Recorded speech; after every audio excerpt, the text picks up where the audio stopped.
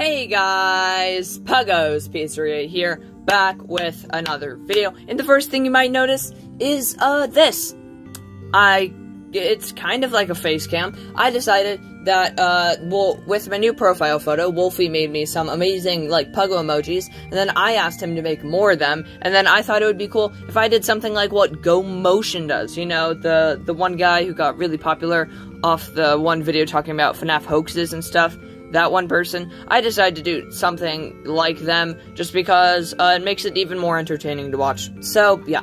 So, uh, the, the main thing in the video is FNAF getting a Netflix series. And the main answer is no, you got clickbaited. So, uh, who's really the clown here? But, uh, I, I am basically talking about if FNAF's got a Netflix series and how good it would be, what it would be about, and how people would like it. Uh, basically, I think a FNAF Netflix series would be absolutely amazing since we already have a FNAF Cuphead series that is coming very soon.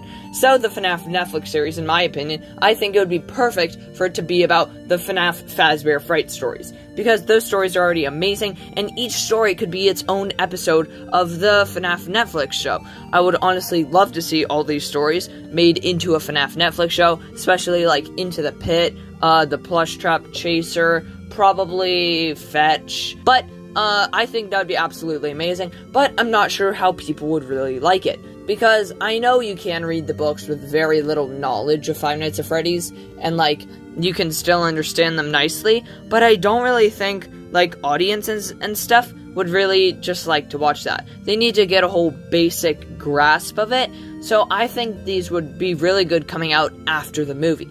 After the movie, a lot more people would actually know what Five Nights at Freddy's is, and they would understand the basic plot, just because uh, it seems a little random just to immediately go into a time-traveling ball pit just on the first episode. That seems like it would be a little much for someone who knows zero about Five Nights at Freddy's. Like for the Cuphead thing, they are, um, you know, they're taking basically cut like Cuphead's main story and putting it into that because it's the beginning story of Cuphead. You don't need to know anything else.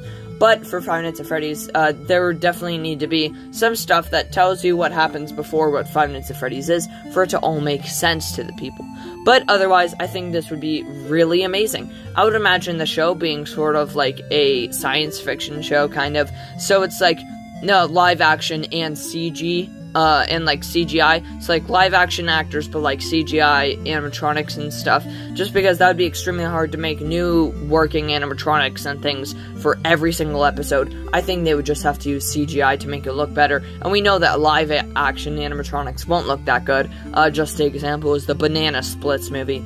But yeah, that is my opinion on this topic of if Five Nights Freddy's got its own Netflix show. Uh, I really hope you guys enjoy. Don't forget to like, comment, subscribe, and hit that bell notification. But please subscribe. 81% of you aren't subscribed, but I don't blame you if you don't want to subscribe because I just clickbait to do. But yeah, that's it. That's it for the video, and I will see you all later. Good.